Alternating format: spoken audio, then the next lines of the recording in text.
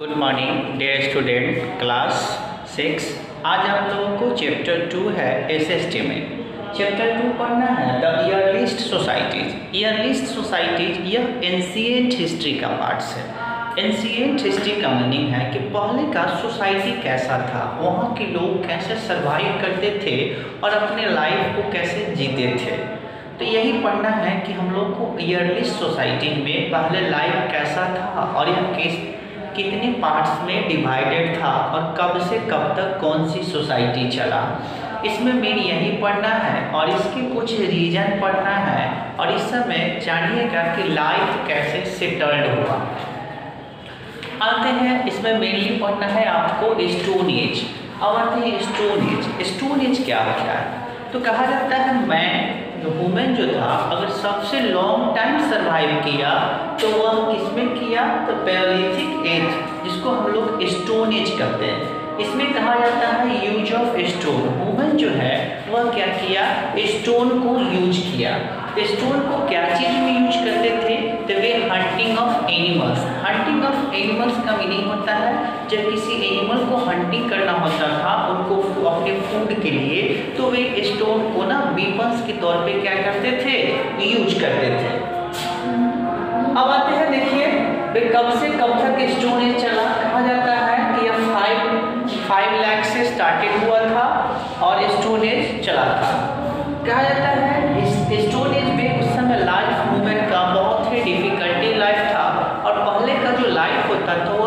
Primitive life होता था।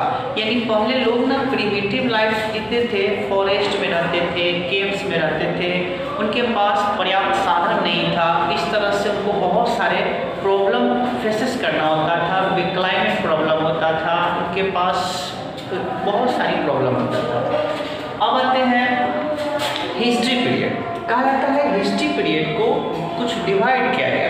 पहला बांटा गया आपको स्टोन एज में। स्टोन एज में क्या था कि यूज़ ऑफ़ स्टोन, यानी वुमेन, अगर सबसे लॉन्ग टर्मिनेशन किसी में सर्वाइव किया तो वह स्टोन एज में। अब आते हैं the chalcolithic age chalcolithic age में क्या था?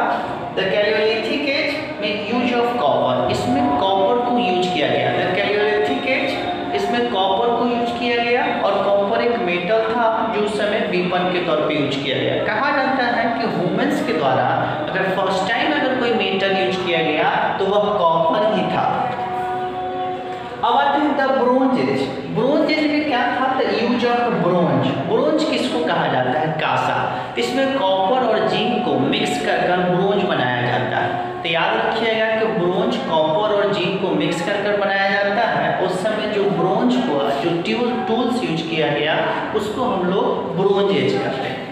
अब आते हैं आयरन एज इसमें यूज़ ऑफ़ आयरन हम लोग वीपन्स के तौर पे जब आयरन यूज़ करते थे उस समय, उस एज को आयरन एज कहते हैं।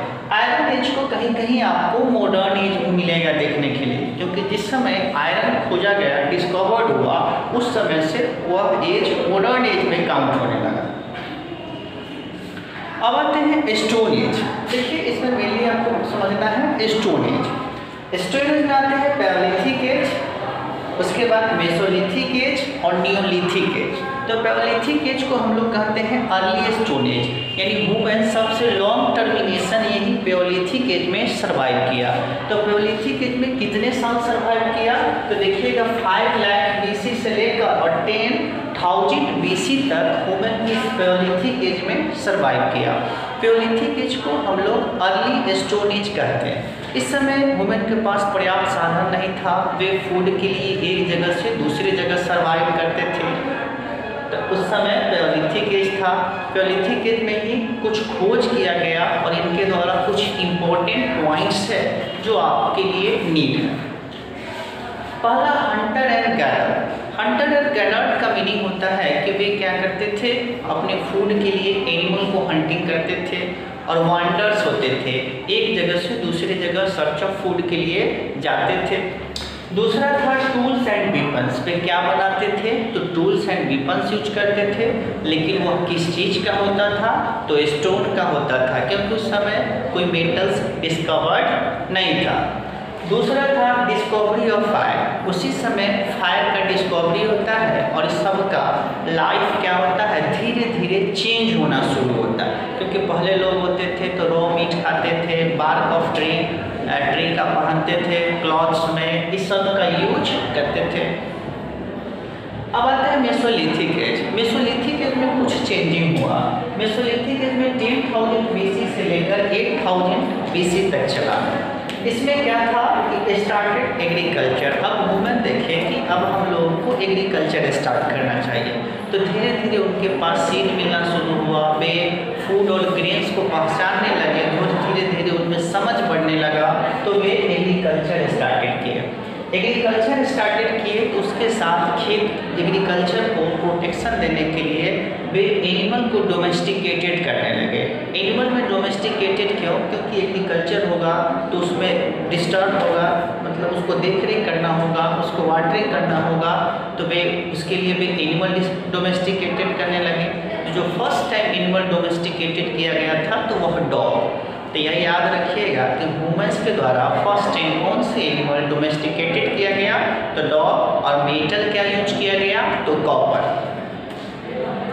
अब आते हैं नियोलिथिक एज नियोलिथिक एज में क्या था तो 8000 बीसी से लेकर 4000 बीसी तक की एज को हम लोग नियोलिथिक एज करते हैं। तो नियोलिथिक एज को न्यू स्टोन एज करते हैं। तो देखिएगा न्यूलिथिक एज को हम लोग न्यू स्टोन एज कहते हैं। अब इसमें भी क्या हुआ कि ह्यूमन लाइफ सेटल्ड हो गया।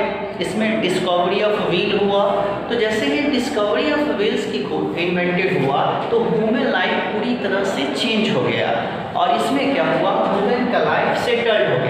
अब देखिए एग्रीकल्चर होगा तो किसी बैंक किनारे एग्रीकल्चर होगा बैंक ऑफ़ फेवर के किनारे, और एग्रीकल्चर को प्रोटेक्शन देने के लिए वे लोग क्या करने लगे? वहीं पे घर बनाकर रहना शुरू किए। जैसे ही वहीं पे रहना शुरू किए, उस समय से एक सोसाइटी फॉर्मेशन होने लगा, और उसी समय से एक नया सोसाइटी क्या होने लगा? प्रोग्रेस होने लगा। तो उसी समय से एक नया सोसाइटी रिचुअल कल्चर ये सब क्या होने लगा? डेवलप होने लगा। ये सब कब से डेवलप होने लगा? तो नियोलिथिक एज से, और नियोलिथिक एज में कुछ चेंजिंग हुआ तो क्या क्या चेंजिंग हुआ? तो सेटल्ड एग्रीकल्चर हुआ सेटल्ड लाइफ हुआ, और डिस्कवरी ऑफ़ व्हील्स हुआ। तो इस चैप्टर में इतना ही आप लोगों का इम्पोर्टेंट पॉइंट था। अब फिर हम लोग नेक्स्ट डे नेक्स्ट चैप्टर में मिलते हैं। That's all